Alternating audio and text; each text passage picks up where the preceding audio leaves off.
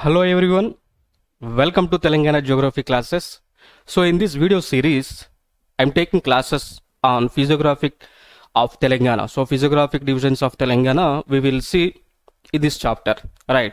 So first we will see the major physiographic divisions of India. So th- then we will see Telangana uh, physiographic divisions so that you will get some clarity regarding this uh, physiography of Telangana, right? So let us uh, start. See here, first we will see what is the physiography. What is the meaning for physiography of uh, physiography, right? So physiography is nothing but, so here I will write here the word physiography. So see here, physiography. So physiography is nothing but it is the study of landforms. So the study of landforms or we can say study of physical features of the earth's surface. So physiography is nothing but the study of physical so the study of physical features of the earth surface. Okay so you may get the doubt again sir what is the what are those physical features how we can find the physical features of earth. So i will come to here. Okay right so here physical features are nothing but mountains Okay, so physical features of the earth are mountains, plateaus, plains, valleys, gorges, etc. Okay, so these are the physical features. So we, we can add some additionally like uh, deserts, we can add additionally like uh, some islands. Okay, so physical features nothing but the study of deserts, valleys, mountains, gorges, islands, plains, plateaus. Okay, so finally physiography is nothing but in this chapter we are studying about uh, the physio- physical features of the earth surface. So here in Telangana, now we are dealing about Telangana geography, right? So we will stick towards the learning, the knowing of physical features of Telangana territory. Okay, so before that we will see ideas of physiography. Okay, so so that we can get some uh, understanding about the Telangana physiographic divisions. So let me draw our map, India's map. See, this is India. Okay, so this is Sri Lanka. We can find here uh, islands at this location, and moreover, we can find islands at this junction. Okay, so fine. So, for example, treat it as sorry, uh, or else uh, I will again redraw it. Give me a moment. Again, I will redraw the map. Okay, so fine. So, this is our India. So, this is our India. So, uh, India, right? So, this is our India. Fine. So here, if you move from north to south direction, we can find here the at this juncture we can find Himalayas. So this is one of the physiographic divisions of India. So when we go uh, into the deep aspect of geography we will study about the ranges in himalayas the types of himalayas like himalayas are classified into three types mostly like uh, shivaliks himadri we will discuss. Not here. We will discuss it in uh, indian geography. While studying indian geography we will discuss all those uh, aspects there. Okay then if we further move here you can find igp plains so igp is nothing but indo-gangetic plains and again if you move further here western part of india you can find what? Rajasthan. Okay.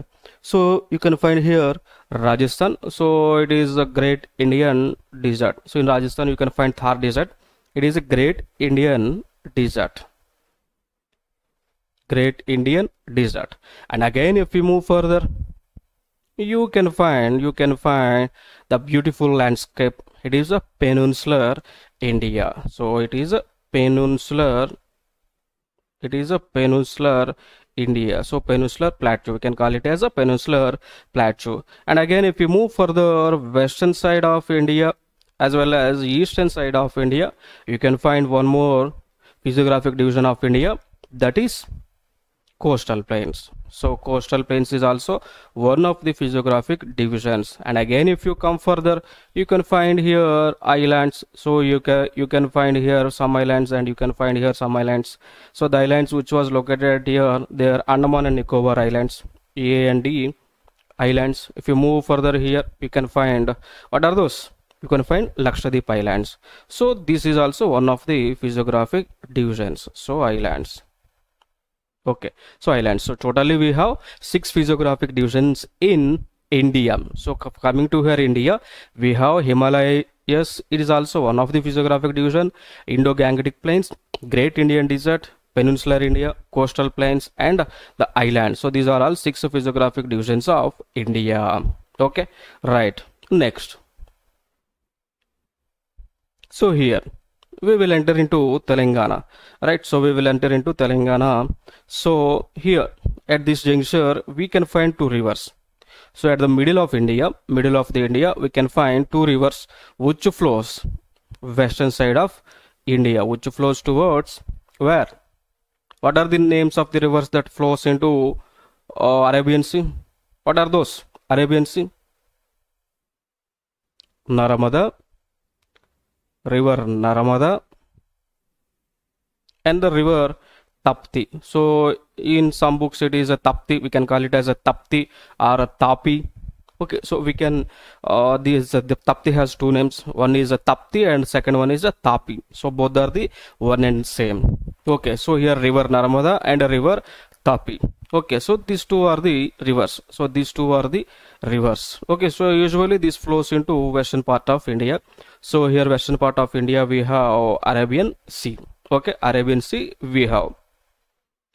Right. So then, so the area which was, which was northern part of Narmada, we can call it as Central Highlands. We can call Central Highlands. The area below of river Narmada, Tapati are Vindhya mountains. Okay, here we can find Vindhya mountains at this juncture.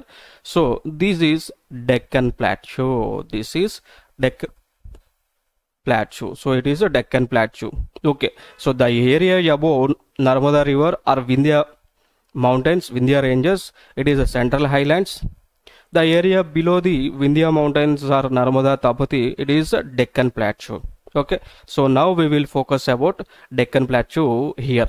Okay. So next. So this is the thing. Central highlands and deccan plateau. Central highlands and deccan central highlands and deccan plateau. Okay. So central highlands and deccan plateau. Okay. Here. So this is about deccan plateau so this deccan plateau we can call deccan plateau why this deccan was named to this plateau because the meaning says that deccan is says the deccan means dakshin Deccan means Dakshin. Okay, so Deccan is nothing but it is the meaning for Dakshin. So that's why. So the the area which was at the southern part of India known as a Deccan Plateau. So that's why. So Deccan plateau ఏదైతే మనం మాట్లాడుకుంటున్నామో దక్షిణ భాగం ఏదైతే ఉందో so దానికి దక్షిణ అంటే డెక్కన్ అని చెప్పేసి అంటాం. సో అది దక్షిణంగా ఉంది. భారతదేశంలో దక్షిణంగా ఉంది కాబట్టి డెక్కన్ ప్లాట్యూ దక్కన్ భూమి అని చెప్పేసి మనం మాట్లాడుకోవడం జరుగుతూ ఉంటుంది. ఓకే సో ఇది. నెక్స్ట్ దాని తర్వాత చూసుకున్నట్లయితే గత ఎగ్జామ్స్లో అడిగినటువంటి question. So Deccan plateau is made up of. So Deccan plateau is made up of అని చెప్పేసి ఒక క్వశ్చన్ ఇచ్చారు. So Deccan plateau Deccan plateau Deccan plateau is made up of is made up of అని question mark ఇచ్చి options కూడా ఇచ్చున్నారు. So one is basalt one is basalt second one is limestone second one is limestone. So they have given third option as sand. And fourth option they have given fourth option as coal okay so these are the options given in the previous year question right so deccan plateau is made up of one option basalt two limestone three sand four coal so what is the right answer what is the right answer basalt. So option one is the right answer. So Deccan Plateau is made up of basalt. So these type of questions we are getting in these competitive examinations. Okay, so this Deccan Plateau is made up of one basalt rocks, gneiss. Okay, so gneiss. So these are the rocks. So next chest, chest rocks.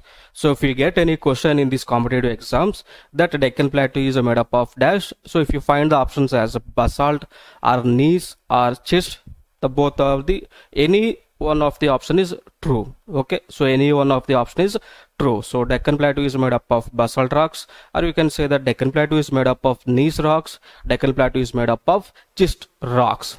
Okay, so usually Deccan Plateau was formed due to the volcanic eruption. Okay, so Deccan Plateau was formed due to the volcanic eruption. So previously there was a number of volcanoes in southern India.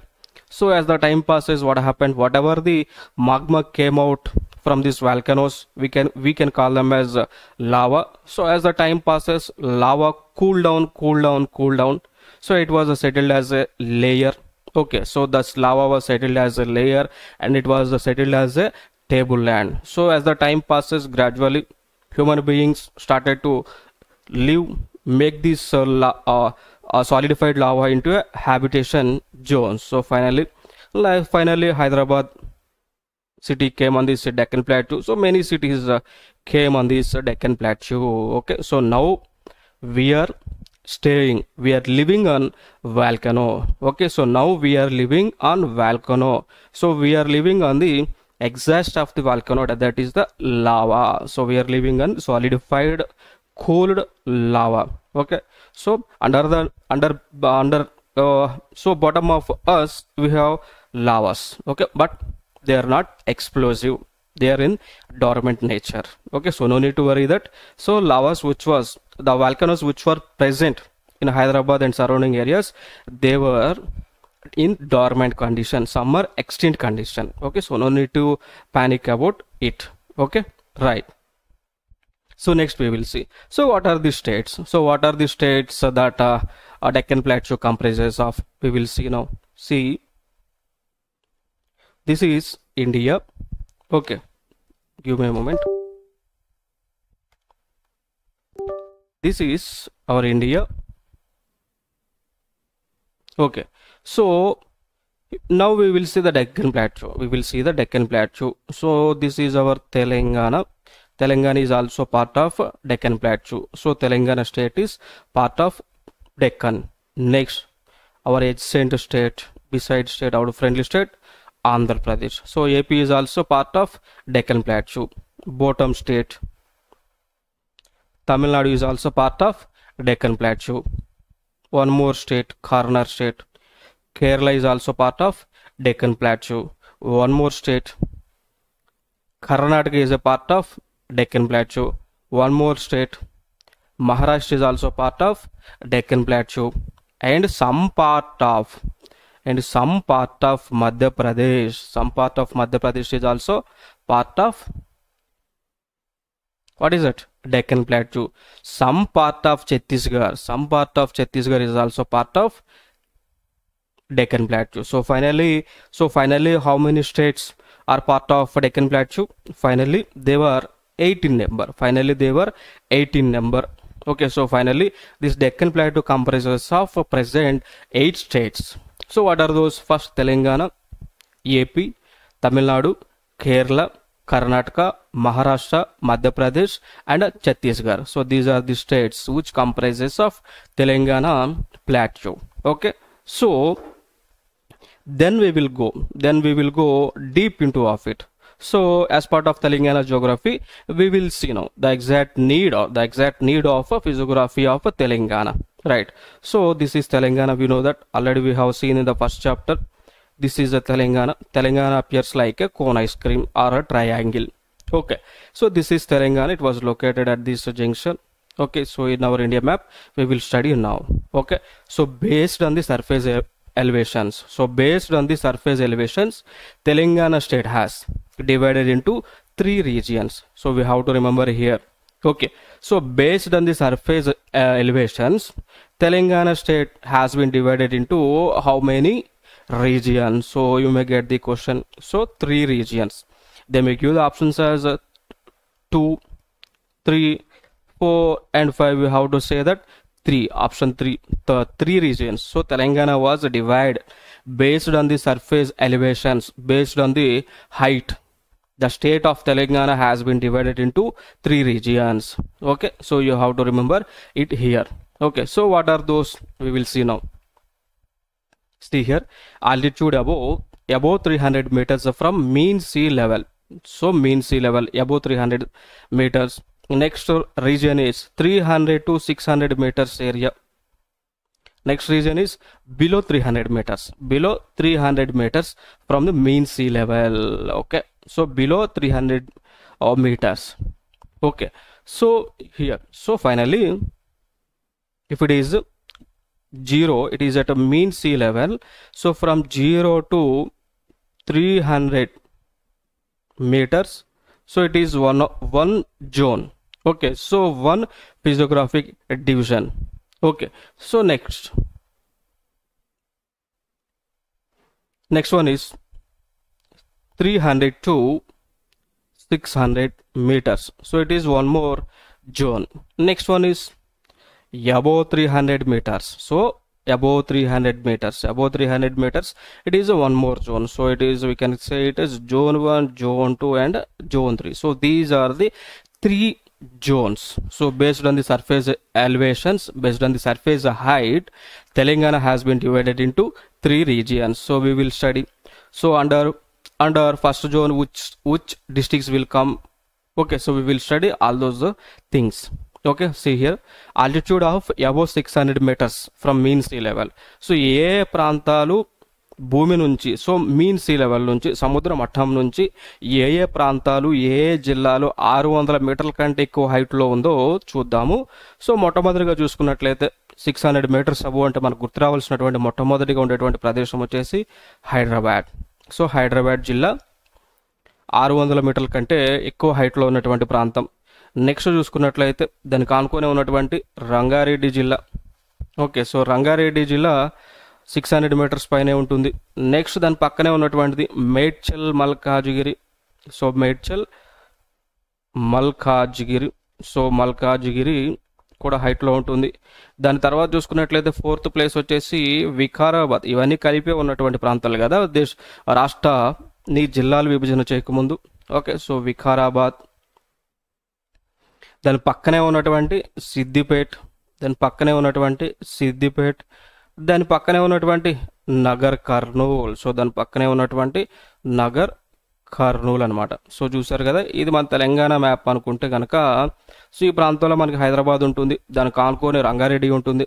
Okay so దానికి ఆనుకొని రంగారెడ్డి ఉంటుంది. ఇటు side చూస్తే సిద్దిపేట ఉంటుంది ఇటు side చూస్తే మేడ్చల్ మల్కాజ్గిరి ఉంటుంది.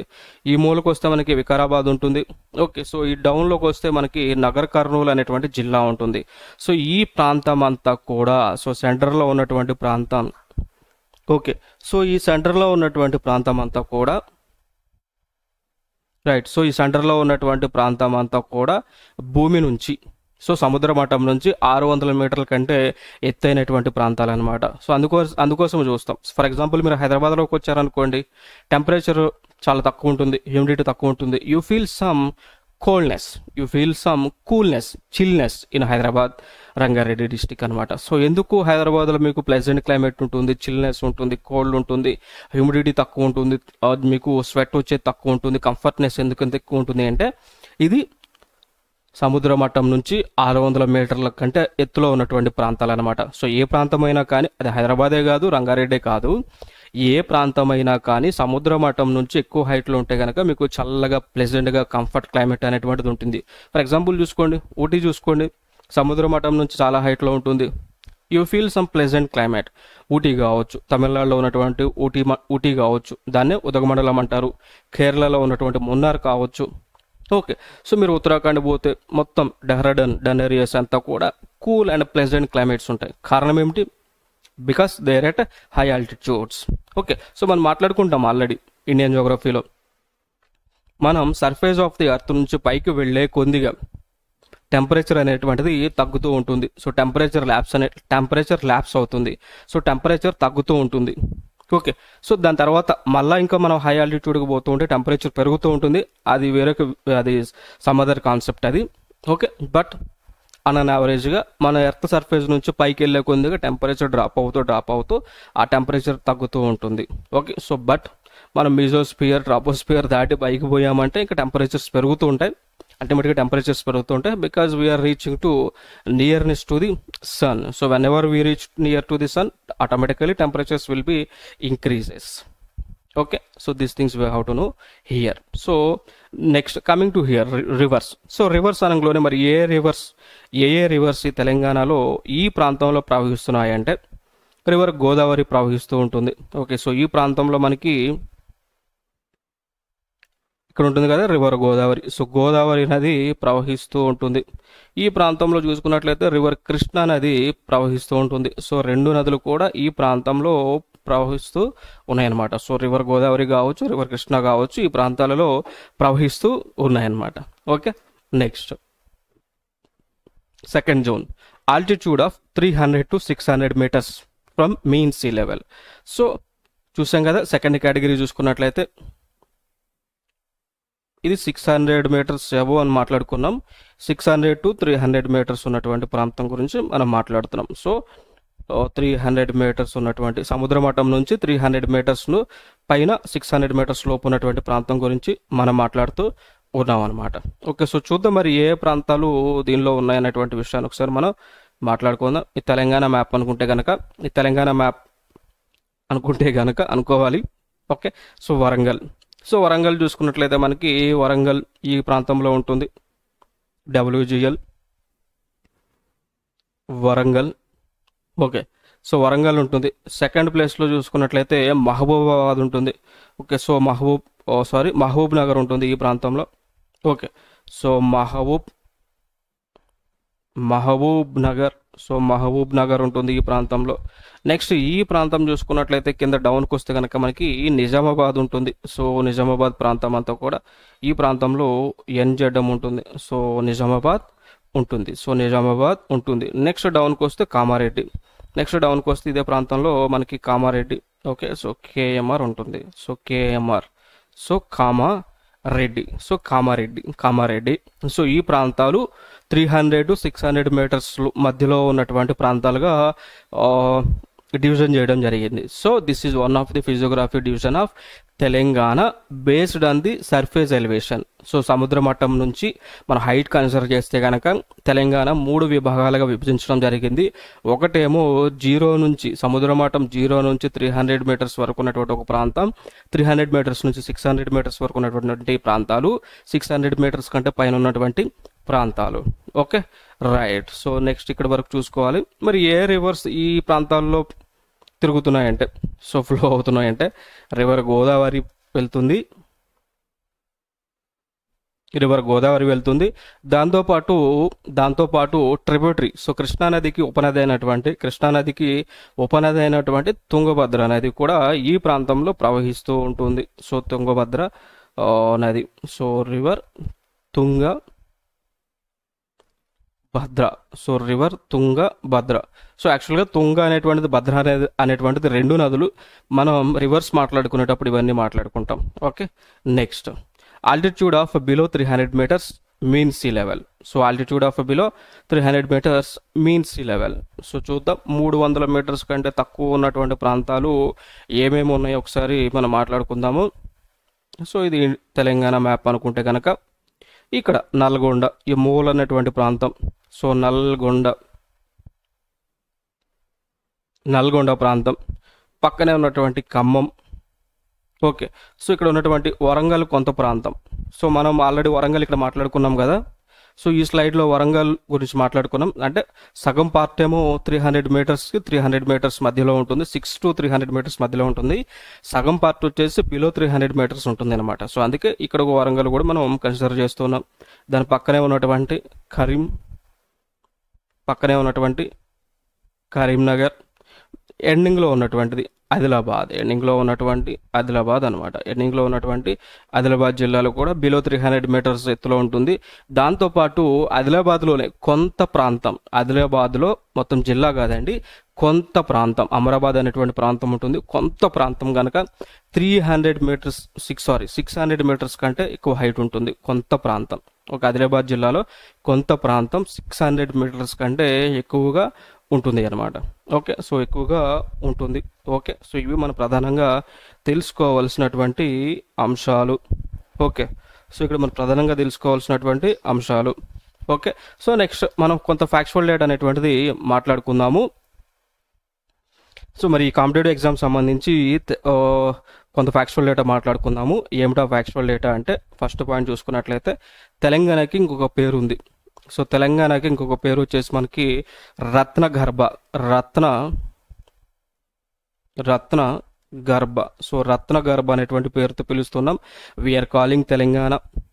Telangana is also known as Ratnagarbha okay so then coming to here what is the shape of Telangana? What is the shape of Telangana? In terms of map it is isosceles triangle చూసాం కదా ఇక్కడ రాజు చేస్తాం కదా మనకి ఇది ఎట్లా ఉంటుంది? Isosceles త్రిభుజాకారంలో ఉంటుంది. ఐసోస్లెస్ ట్రయాంగిల్ ఫార్మాట్లో ఉంటుంది. నెక్స్ట్ చూసుకున్నట్లయితే ఇంకా ఈ హైదరాబాద్ అనేటువంటిది త్రీ హండ్రెడ్ మీటర్స్ కంటే హైట్లో ఉంటుంది కాబట్టి చల్లగా ఉంటుంది.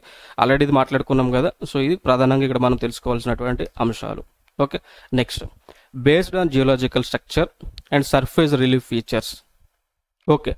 So geological structure ప్రకారము సర్ఫేస్ రిలీఫ్ ప్రకారము again Telangana region is divided into three types okay. So అక్కడ మనం మాట్లాడుకున్నదేమో సర్ఫేస్ ఎలివేషన్ హైట్ ప్రకారం మాట్లాడుకున్నాం అనమాట సో హైట్ ప్రకారం చూసిన తెలంగాణ మూడు విభా- మూడు ప్రాంతాలుగా విభజించడం జరిగింది.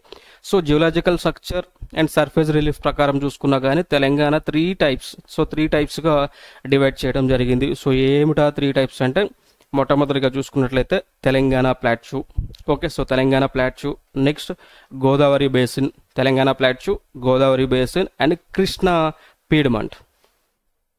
Okay so Krishna piedmont. Telangana plateau Godavari basin Krishna piedmont so these are the three parts అనమాట సో తెలంగాణ ప్లాట్యూ అంటే ఏదైతే మనకి కొండ ప్లాట్యూ రీజన్స్ ఉన్నాయో టేబుల్ ల్యాండ్స్ ఉన్నాయో అవంతా కూడా తెలంగాణ ప్లాట్యూ కింద తీసుకుంటాము. గోదావరి బేసిన్ అంటే ఎక్కడైతే మనకి గోదావరి నది ప్రవహిస్తూ ఉందో సో ఆల్మోస్ట్ ఈ గోదావరి నది ఇట్లా ప్రవహిస్తూ ఉంటుంది? ఓకే సో ఈ ప్రాంతం అంతా కూడా ఓకే. సో ఎక్కడైతే మనకి ఈ గోదావరి నది ప్రవహిస్తూ ఉంటుందో గోదావరి నది అంతా ప్రవహిస్తూ ఉంటుందో ఆ చుట్టూ ప్రాంతాల్లో ఉన్నటువంటివి మనం ఆ గోదావరి బేసిన్గా మాట్లాడుకుంటాం. నెక్స్ట్ దాంతోపాటు రివర్ కృష్ణ కూడా ప్రవహిస్తూ ఉంటుంది కదా. సో ఎక్కడైతే రివర్ కృష్ణ ఎక్కడైతే రివర్ కృష్ణ ప్రవహిస్తూ ఉంటుందో సో ఆ ఆ పరివాహక ప్రాంతాలన్నీ కూడా కృష్ణ పెడమెంట్గా పిలుస్తూ ఉంటాం. ఓకే? సో డిస్కస్ చేద్దాం అవన్నీ కూడా. వన్ బై వన్ డిస్కస్ చేద్దాం. ఓకే? సో నెక్స్ట్ ఇక్కడ మాట్లాడుకుందాం. తెలంగాణ ప్లాట్యూ గురించి. సో తెలంగాణ ప్లాట్యూ గురించి మనం మాట్లాడుకుందాం. సో ఇక్కడ చూడండి. తెలంగాణ ప్లాట్యూ యొక్క ఏరియా వచ్చేసి టోటల్గా fifty nine thousand nine zero three square kilometres ఉంటుంది. సో టోటల్గా తెలంగాణ ఏరియా ఎంత ఉంటుంది? One lakh twelve thousand seventy seven square kilometres ఉంటుంది. సో టోటల్గా area of Telangana so the area of Telangana is one lakh twelve thousand one lakh twelve thousand seventy seven square kilometers. one lakh lakh twelve thousand seventy seven square kilometers. The area of telangana is the area of telangana is one lakh twelve thousand seventy seven square kilometers. So in that telangana plateau area is fifty nine thousand nine hundred and three square kilometers. So what are the rivers that are flowing in telangana plateau majorly? Major rivers are River Godavari and Krishna. Major rivers are Godavari and Krishna. Of course, Godavari has that some tributaries. We, we will learn this in river system. So, Godavari has left bank tributaries, right bank tributaries. Krishna River has uh, right same left bank tributaries and right bank tributaries. So ఉపనదులు అంటాం. So ఎడమవైపు ఉండేటువంటి ఎడమ నది ఎడమ ఉపనదులు కుడి ఉపనదులు అని చెప్పేసి మాట్లాడుకుంటూ ఉంటాం. సో అవి రివర్ సిస్టంలో మనం మాట్లాడుతూ ఉంటాం అనమాట సో మరి ఏ ప్రాంతాలు ఏ ప్రాంతాలు తెలంగాణ ప్లాట్యూ కింద వస్తాయి అంటే ఆదిలాబాద్ వస్తుంది. Okay? Adilabad Nizamabad Nalgonda. Okay? So Devarakonda Nalgonda Miryalaguda plateau Suryapet Huzurnagar plateau Medak and Hyderabad regions. So height యావరేజ్గా చూసుకున్నట్లయితే ఈ తెలంగాణ ప్లాట్యూ ఏరియా అంతా కూడా five hundred to six hundred metres above mean sea level ఉంటుంది. ఇవి సముద్ర మట్టానికి ఐదు వందల నుంచి ఆరు వందల మీటర్ల మధ్యలో అంతకంటే ఎక్కువ కూడా కొన్ని ప్రాంతాలు ఉన్నాయి. ఓకే సో ఉంటుంది. ఇది తెలంగాణ ప్లాట్యూ గురించి. నెక్స్ట్ మాట్లాడుకుందాం. సో ఫైనల్గా మనం చూసుకున్నట్లయితే మరి తెలంగాణ ప్లాట్యూ సో ఈ తెలంగాణ ప్లాట్యూ అనేటువంటిది upper Telangana plateau and lower Telangana ప్లాట్యూగా విడగొట్టడం జరిగింది. Okay so upper Telangana plateau and lower Telangana ప్లాట్యూగా Telangana అనేటువంటిది విడగొట్టడం జరిగింది. ఓకే సో దీనిలో భాగంగా మనకి మరి ఈ ప్లాట్యూలో ఈస్టర్న్ ఘాట్స్ వెస్టర్న్ ఘాట్స్ వస్తూ ఉంటాయి. వాటి గురించి కూడా మనం మాట్లాడుకుందాం. ఓకే సో ఇది. ఇప్పుడు ఏదైతే మీకు ఈ కనిపిస్తుంది ఈ ప్రాంతం అంతా కూడా ఇది upper Telangana plateau okay upper Telangana plateau okay so కింద ఉన్నదంతా కూడా కిందది ఉన్నంత ఉన్నదంతా కూడా లోయర్ తెలంగాణ ప్లాట్యూ ఇదంతా కూడా లోయర్ తెలంగాణ ప్లాట్యూ ఇదంతా కూడా upper Telangana plateau okay so చూద్దాం. We will discuss one by one one by one one by one here so చూద్దాం మరి. దీనిలోనే upper Telangana north northern Telangana sorry upper Telangana and lower తెలంగాణలో eastern Ghats western Ghats అనేటువంటివి ఉన్నాయి. So it's it side ఉన్నటువంటివి కూడా మనం వెస్ట్ పార్ట్ ఉన్నాయి కాబట్టి వెస్టర్న్ ఘాట్స్ అంటాం. ఇటు సైడ్ ఉన్నాయని కూడా ఈస్ట్ సైడ్ ఉన్నాయి కాబట్టి ఈస్టర్న్ ఘాట్స్ అని చెప్పేసి మాట్లాడుతూ ఉంటాం. తూర్పు కనుమలు పశ్చిమ కనుమలు అని చెప్పేసి తెలుగులో మాట్లాడుతూ ఉంటాం కదా. సో అవి అనమాట వెస్టర్న్ ఘాట్స్ ఈస్టర్న్ ఘాట్స్. తూర్పు కనుమలు అంటే ఈస్టర్న్ ఘాట్స్ పశ్చిమ కనుమలు అంటే వెస్టర్న్ ఘాట్స్ అనమాట సో ఇవన్నీ కూడా వెస్టర్న్ ఘాట్స్ కోవలోకి వస్తాయి. ఇవన్నీ కూడా ఈస్టర్న్ ఘాట్స్ కోవలోకి వస్తాయి. మరి ఏవేవి ఎక్కడ ఉన్నటువంటి వాటికి ఏ పేరుతో పిలుస్తున్నారో వాటి విషయాలు కూడా మనం తెలుసుకోవాలి ప్రధానంగా. సో చూద్దాం. They extend up to north and north western districts of Telangana. So western Ghats ఏదైతే మనం మాట్లాడుకుంటున్నామో ఇవి north and north western districts of Telangana అనమాట సో ఈ ప్రాంతం అంతా కూడా. నార్త్ నార్త్ వెస్టర్న్ పార్ట్స్లో ఈ వెస్టర్న్ ఘాట్స్ అనేటువంటివి ఉన్నాయి. సో చూద్దాం మరి. ఈ ఆదిలాబాద్ అండ్ నిర్మల్ జిల్లాలలో ఉన్నటువంటి ప్రాంతాలను ఏమంటామంటే నిర్మల హిల్స్ లేదా సత్మల హిల్స్ అంటాం. క్వశ్చన్ ఒక క్వశ్చన్ కూడా అడిగి ఉన్నారు. అడిగి ఉన్నారు. So where is the location where is the location of Nirmala Nirmal hills? So ఎక్కడండి? ఆదిలాబాద్ నిర్మల్ జిల్లాలో ఉంటూ ఉంటుంది. సో నా రాకీ హిల్స్ ఏ జిల్లాలో ఉంటాయంటే రాజన్న సిరిసిల్ల జగిత్యాల హిల్స్ ఎక్కడ ఉంటాయంటే జగిత్యాల కందికల్ కంగల్ హిల్స్ ఎక్కడ ఉంటాయంటే మహబూబాబాద్ అండ్ కొత్తగూడెం. సిర్ సిర్నాపల్లి ఎక్కడ ఉంటుంది అంటే ఈ హిల్ రాక్స్ ఎక్కడ ఉంటాయంటే Nizamabad and Kamareddy. Next Sirpur hill rocks ఎక్కడ ఉంటాయంటే Komaram Bheem Asifabad. Pandava hills hill rock locks ఎక్కడ ఉంటాయంటే జయశంకర్ భూపాలపల్లి డిస్టిక్స్ అన్నమాట. Okay so next eastern Ghats గురించి మనం మాట్లాడుకుందాం. తూర్పు కనుమలు. సో తూర్పు కనుమల్లో ఉన్నటువంటి హిల్ లాక్స్ ఎక్కడ అవి ఏ జిల్లాలో ఉన్నాయనేటువంటి అంశాన్ని మనం తెలుసుకోవాలి. సో ఇవి ఈస్టర్న్ అండ్ సౌత్ ఈస్టర్న్ పార్ట్లో ఎక్స్టెండ్ అయి ఉన్నాయి తెలంగాణలో. ఓకే? సో నగర్ కర్నూలు జిల్లాలో చూసుకుంటే నల్లమల హిల్స్ అమరాబాద్ హిల్స్ ఉన్నాయి. మహబూబ్ నగర్ చూసుకున్నట్లయితే షాబాద్ హిల్స్ కోయల హిల్స్ ఉన్నాయి. ఓకే? సో వికారాబాద్ చూసుకున్నట్లయితే అనంతగిరి హిల్స్. ఈ ఒక్క విషయాన్ని గుర్తుపెట్టుకోండి. ఎగ్జామ్స్లో అడిగి ఉన్నారు. Where was Ananthagiri hills located where was Ananthagiri hills located అని చెప్పేసి క్వశ్చన్ అడిగి ఉన్నారు సో ఎక్కడండి? వికారాబాద్ జిల్లాలో. So where was Ananthagiri hills located అంటే వికారాబాద్ జిల్లాలో. సో వికారాబాద్ జిల్లాలో అనంతగిరి హిల్స్ లొకేట్ అయి ఉన్నాయి. ఈ విషయాన్ని ఒకటాన్ని గుర్తుపెట్టుకోండి. ఓకే సో నెక్స్ట్ రాచకొండలు నందికొండలు ఏ జిల్లాలో ఉన్నాయంటే నల్గొండ జిల్లాలో ఉన్నాయి. ఇంకొక విషయాన్ని కూడా గుర్తుపెట్టుకోండి. పాపికొండలు. పాపికొండలు ఏ జిల్లాలో ఉన్నాయంటే భద్రాద్రి కొత్తగూడెం జిల్లాలో ఉన్నాయి. సో భద్రాచలం దగ్గర భద్రాచలం దగ్గర గోదావరి నదిలో ఈ యొక్క పాపికొండలు అనేటువంటివి ఉంటాయన్నమాట. సో భద్రాద్రి కొత్తగూడెం ఏదైతే రాముడి యొక్క పుణ్యక్షేత్రం ఉందో సో అక్కడ అక్కడ మనకి రివర్ గోదావరి గోదావరి నది ప్రవహిస్తూ ఉంటుంది. ఆ నదిలోనే పాపికొండలు ఉండటం జరిగింది. సో ఇది ఎగ్జామ్స్లో అడిగి ఉన్నారు కాబట్టి గుర్తుపెట్టుకోండి. Okay? So next Raju hillocks కావచ్చు ఎల్లందుల గుట్టలు కావచ్చు ఇవి కూడా భద్రాద్రి కొత్తగూడెంలోనే ఉన్నాయి. నెక్స్ట్ వీరన్ హిల్లాక్స్ మహబూబాబాద్లో ఉన్నాయి. కనిగిరి కొండలు. సో కనిగిరి కొండలు ఇవి ఖమ్మం జిల్లాలో ఉన్నాయి.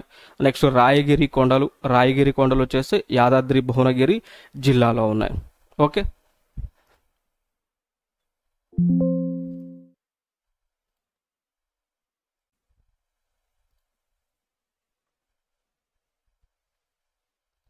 Now we will see the continuation of a physiography of telangana. Right so we will see. So in the previous videos already we have done about telangana plateau. Right so now we will discuss about godavari basin area. Right so let us start. So the area which was marked here so total all these areas comes under godavari basin. Okay so the area which was marked here comes under godavari basin. Why it is godavari basin? Because river godavari is flowing here. Because river godavari is flowing here. So that's why the area so ఈ గోదావరి నది ఎక్కడైతే కనుక ప్రవహిస్తూ ఉందో so దాని ద్వారా నీటి పొందేటువంటి రాష్ట్ర జిల్లాలు ఏవైతే ఉన్నాయో అవన్నీ కూడా గోదావరి బేసిన్ కింద వస్తాయన్నమాట. సో ఏ ప్రాంతాలైతే గోదావరి నీటి ద్వారా లబ్ధి పొందుతున్నాయో సో ఏ ప్రాంతాలు అయితే గోదావరి నీటి ద్వారా నీటి సౌకర్యాన్ని పొందుతూ ఉన్నాయో ఆ ప్రాంతాలన్నింటిని కూడా గోదావరి బేసిన్గా మనం పిలుస్తూ ఉంటాం అనమాట సో మరి చూద్దాం మరి ఏ జిల్లాలు గోదావరి బేసిన్ కింద వస్తున్నాయి అనేటువంటి అంశాన్ని ఒకసారి మనం మాట్లాడుకుందాం.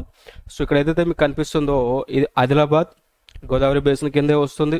నెక్స్ట్ కొమరం భీం కావచ్చు ఆసిఫాబాద్ కొమరం భీం అంటాం కదా సో కొమరం భీం ఆసిఫాబాద్ కావచ్చు మంచిర్యాల కావచ్చు జగిత్యాల కావచ్చు పెద్దపల్లి కావచ్చు జయశంకర్ భూపాలపల్లి కావచ్చు అదేవిధంగా ములుగు కావచ్చు.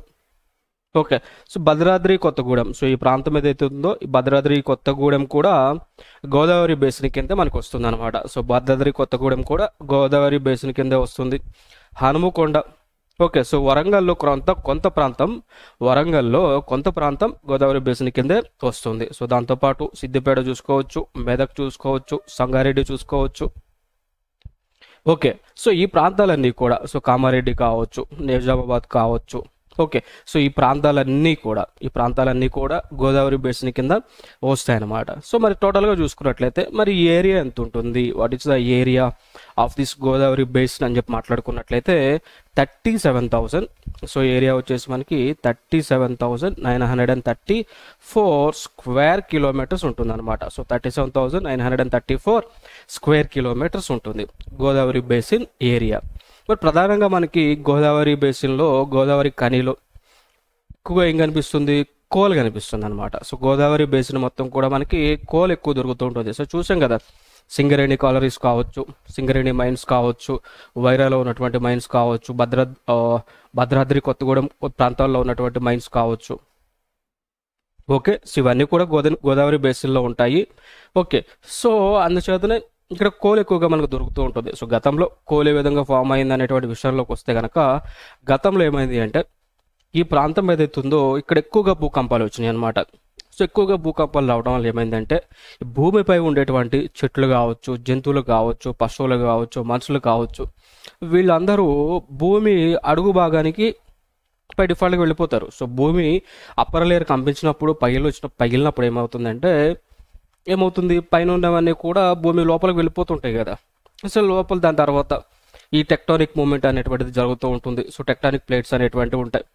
ఓకే. సో ఈ మూమెంట్ అవ్వటం వల్ల ఏమవుతుంది? పైన ఉన్నాయి కాస్త లోపలికి పోతూ ఉంటాయి. పోయి సో లోపలికి పోతూ ఉంటే సో భూమి లోపలికి పోయే కొద్దిగా ఏమవుతుంది మనకి? టెంపరేచర్ పెరుగుతుంది. ప్రెషర్ పెరుగుతుంది. ఓకే. మన భూమి నుంచి భూమి సర్ఫేస్ నుంచి లోపలికి పోతుంటే టెంపరేచర్ పెరుగుతుంది. సర్ఫే ప్రెషర్ వాల్యూస్ కూడా పెరుగుతూ ఉంటాయి కదా. సో వీటి వల్ల ఏమవుతుంది? సో ఇప్పుడు ఏదైతే చెట్లు మనకి చెట్లు మనుషులు అందరూ లోపలికి పోయారో ఇవి ఇన్ జనరల్గా వీటికి కార్బన్ మాలిక్యూల్ అనే అనేటువంటిది ఉంటుంది. సో సి ఫోర్టీన్ అనేటువంటి మాలిక్యూల్ ఉంటుంది. C twelve C thirteen C fourteen. So by డిఫాల్ట్గా చెట్లే కావచ్చు మనుషులే కావచ్చు వీటికి ఏదైనా కానీ కార్బన్ అనేటువంటిది కామన్ అనమాట ఓకే. సో ఈ కార్బన్ ఏమవుతుంది? ప్రెషర్ వల్ల ప్రెషర్ వల్ల టెంపరేచర్ వల్ల కోల్ రూపంగా మారుతుంది. సో కొంత ఏమో ఫాజిల్స్లుగా మారుతాయి. పెట్రోల్ కావచ్చు డీజిల్ కావచ్చు. ఓకే సో క్రూడ్ ఆయిల్ ఫార్మాట్లోకి మారుతూ ఉంటాయి. ఫాజిల్ ఫ్యూల్స్లోకి మారుతూ ఉంటాయి. షేల్ గ్యాస్ లాగా మారుతూ ఉంటుంది. కొంత కోల్ టైప్లో మారుతూ ఉంటుంది అనమాట సో మళ్ళీ ఎక్కువగా ప్రెషర్ అప్లై చేస్తే అది గ్రాఫెన్ కింద గ్రాఫైట్ కింద మారుతూ ఉంటుంది. సో అది సెకండరీ ఫేసింగ్ అది. ఓకే సో వీటి వల్లనే కోల్ అనేటువంటిది ఫామ్ అయింది. సో గతంలో చూసుకున్నట్లయితే ఈ గోదావరి బేసిన్ ప్రాంతాలు ఎక్కువగా భూకంపాలు వచ్చి ఉన్నాయి.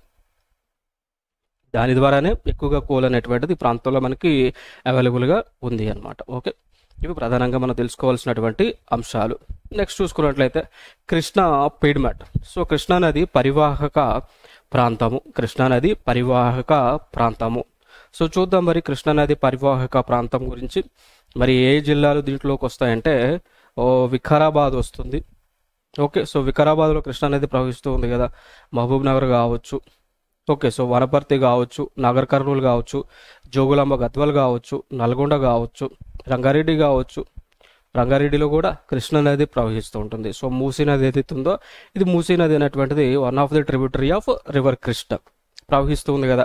హైదరాబాద్లో కూడా ప్రవహిస్తూ ఉంది. యాదాద్రి భువనగిరి జనగం వరంగల్ కొంత ప్రాంతం Mahabubabad.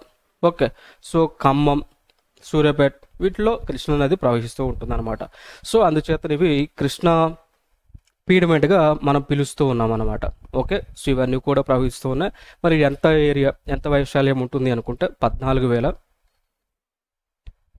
fourteen thousand two forty fourteen thousand two forty square kilometers area అనమాట okay? So fourteen thousand two forty square kilometers area ఈ యొక్క కృష్ణా పెడిమెంట్ ఉంటుంది.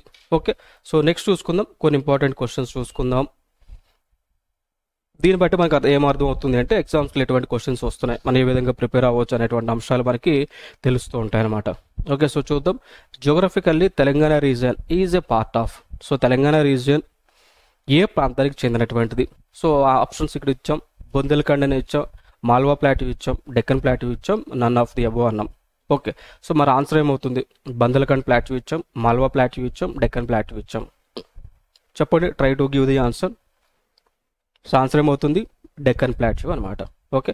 సో తెలంగాణ ప్రాంతం అంతా కూడా తెలంగాణ ప్రాంతమే కాదు ఆంధ్రప్రదేశ్ కావచ్చు మహారాష్ట్ర కావచ్చు కర్ణాటక కావచ్చు తమిళనాడు కావచ్చు కేరళ కావచ్చు కొంతమేర మధ్యప్రదేశ్ కావచ్చు కొంతమేర ఛత్తీస్గఢ్ కావచ్చు ఇవన్నీ కూడా డెక్కన్ ప్లాట్యూలో చెందినటువంటి ప్రాంతాలు. టో- టోటల్గా చూసుకున్నట్లయితే ఎనిమిది రాష్ట్రాలు ఉంటాయి డెక్కన్ ప్లాట్యూలో సో ఏమిటేమిటి అంటే తెలంగాణ ఏపీ మహారాష్ట్ర కర్ణాటక కేరళ తమిళనాడు కొంతమేర ఛత్తీస్గఢ్ కొంతమేర మధ్యప్రదేశ్. ఓకే? టోటల్గా ఎనిమిది ప్రాంతాలు ఉంటాయన్నమాట ఈ విషయాన్ని గుర్తుపెట్టుకోండి. సో మాల్వా ప్లాట్ఫామ్ అంటే ఆల్రెడీ మాట్లాడుకున్నాం కదా మధ్యప్రదేశ్లో ఉంటుంది. సో కొంత ఈ మధ్యప్రదేశ్లో ఉన్నటువంటిది మాల్వా ప్లాట్ఫామ్. కొంతమేర డెక్కన్ ప్లాట్ఫామ్ ఉంటుంది కొంతమేర మాల్వా ప్లాట్ఫామ్ ఉంటుంది మధ్యప్రదేశ్లో. సో బందలకి ఏంటంటే ఇది కూడా నార్త్ నార్త్ నార్త్ ఇండియాకి చెందినటువంటి ప్లాట్యూస్ అనమాట నార్త్ ఇండియాస్ కూడా నార్త్ ఇండియా కొంతమేర దీంట్లో బందలఖండ్ ప్లాట్యూలో ఉంటుంది. Okay so next. Papi hills of Bhadradri Kothagudem district is in modified form of. Okay so Papi hills ఏవైతే మనకి భద్రాద్రి కొత్తగూడెంలో ఉన్నాయో ఇవి ఏమిటి అనేటువంటిది క్వశ్చన్. సింపుల్గా గుర్తుపెట్టుకోండి. భద్రాద్రి కొత్తగూడెంలో ఉన్నటువంటి పాపి హిల్స్ ఏవైతే ఉన్నాయో అవి ఈస్టర్న్ ఘాట్సా వెస్టర్న్ ఘాట్సా వింధ్యా రేంజెస్ సత్పురా మౌంటైన్స్ అనేటువంటిది క్వశ్చన్. ఓకే. సో చూద్దాం నీకు ఎక్స్ప్లెనేషన్ కావాల్సి వస్తే నేను ఇస్తాను ఇక్కడ. సో చూద్దాము. ఓకే. ఇక్కడ ఆల్రెడీ మనం మాట్లాడుకున్నాం కదా కొత్తగూడెంలో భద్రాద్రి కొత్తగూడెంలో పాపికొండలు అనేటువంటివి ఉంటాయి. గుర్తుపెట్టుకోండి ఎగ్జామ్కి చాలా ఇంపార్టెంట్ అని చెప్పి మాట్లాడుకున్నాం కదా. సో ఇవన్నీ కూడా ఈస్టర్న్ ఘాట్స్ అనమాట సో ఇక్కడ ఉన్నటువంటి ఇవన్నీ కూడా ఈస్టర్న్ ఘాట్స్. ఓకే. సో ఇవి ఈ ప్రాంతంలో ఉంటాయి. భద్రాద్రి కొత్తగూడెంలో ఉన్నటువంటివి సో ఈ ప్రాంతంలో ఉంటాయి ఓకే సో ఇవన్నీ కూడా ఈస్టర్న్ ఘాట్స్కి చెందినటువంటివి అనమాట ఈస్టర్న్ ఘాట్స్కి చెందినటువంటివి. సో చూసాం కదా సో దీనికి ఆన్సర్ ఏమవుతుంది మరి? ఈస్టర్న్ ఘాట్స్ అవుతుంది. సో దీనికి ఆన్సర్ వచ్చేసి వన్ ఈస్టర్న్ ఘాట్స్ అవుతుంది.